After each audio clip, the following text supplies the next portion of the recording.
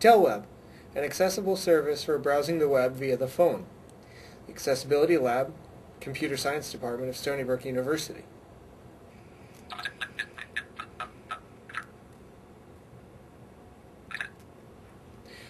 Hi, my name is Glenn. I'm totally blind. Screen readers have given me the ability to access the internet by reading content on web pages. Unfortunately, I don't always have my computer with me, but I always have my cell phone. Wouldn't it be nice if I could access the internet over my phone? This is what the TeleWeb service is going to do. Let me take you through a few common tasks, which up until now I could only accomplish by using my computer. Calling TeleWeb. I'm going to dial a public telephone number to connect to TeleWeb. Welcome to TeleWeb. Main menu.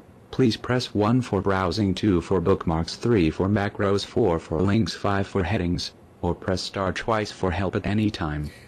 I want to access the Newsday website. It's already in my favorites. I could enter the URL by using the keys on the telephone pad, but I don't want to go through the menus. So I'm just going to say, Open Newsday. February 20th, 2009. Navigating on the page. I'm on the Newsday website. I can navigate through this page by using the keys on the telephone keypad to take me through sections and sentences, headings, links, and form fields. I'm going to navigate to the nation slash world section and activate that link by pressing the pound key. Cars. Last up. Latest news. T- Osh. Oh, List. When teen.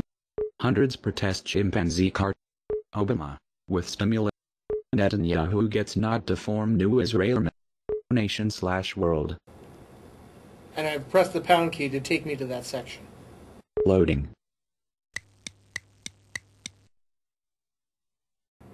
Context-directed browsing. Nation slash world. Pause. Notice how it took me right to the section heading, skipping all of the menus on the top of the page. I'm now going to find an interesting article. Obama. With stimulus underway. Warns mayors about waste. Follow. Filtering of repeated content. Obama.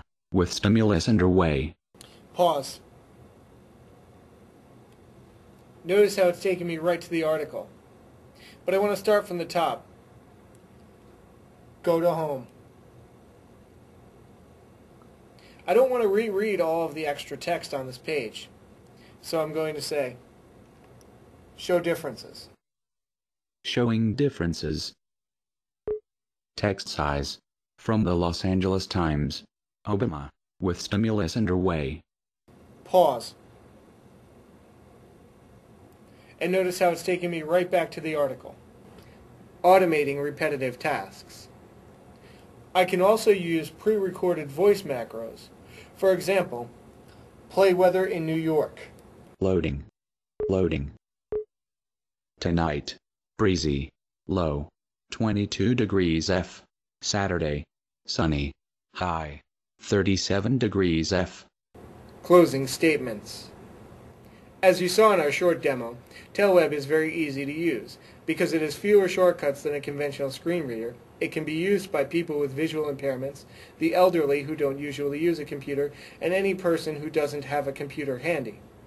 Web access over the phone will be very liberating as you won't have to be tied to a computer. With TeleWeb, you can get online with just your telephone or cell phone connection. TeleWeb is currently a concept, however, we will soon make it available to all. Acknowledgements.